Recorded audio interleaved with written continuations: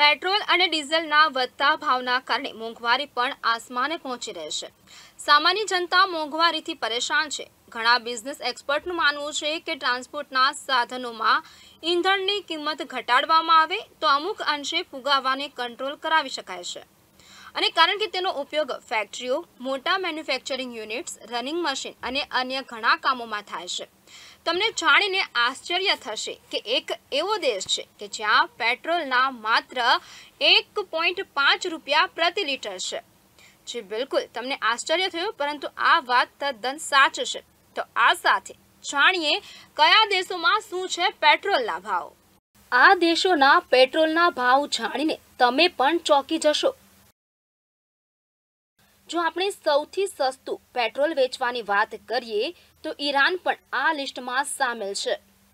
તમને જાણીને આશ્ચર્ય થશે કે ઈરાનમાં એક લીટર પેટ્રોલની કિંમત ચાર રૂપિયા છોતેર પૈસાની નજીક છે.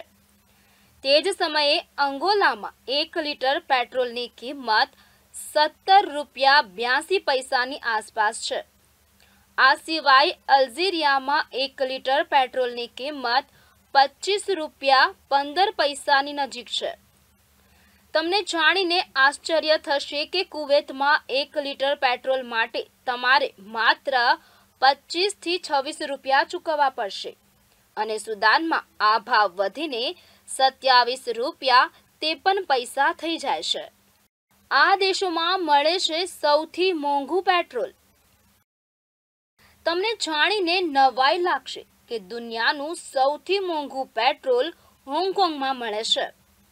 ફિનલેન્ડમાં તમારે એક લીટર પેટ્રોલ માટે બસો ને આઠ રૂપિયા અને ચાલીસ પૈસા ચૂકવવા પડશે. ટાપુ પેટ્રોલની કિંમત બસો ને છ રૂપિયા અને અડતાલીસ પૈસા પ્રતિ લીટર હશે. નોર્વેને સારો દેશ માનનારા આપને જણાવી દઈએ કે નોર્વેને બસો ને એક રૂપિયા અને અડસઠ પૈસા પ્રતિ લીટર મળે છે. ગ્રીસમાં તમારે એક લીટર પેટ્રોલ માટે લગભગ એકસો ને નવ્વાણું રૂપિયા અને છોતેર પૈસા ચૂકવવા પડે છે.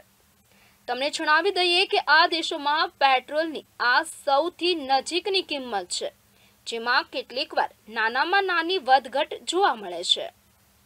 પેટ્રોલના ભાવોને લઈને ભારતવાસીઓ માટે રાહતના સમાચાર. આજે ઓગણીસ જૂન બે હજાર ત્રેવીસ છે અને દિવસ સોમવાર છે.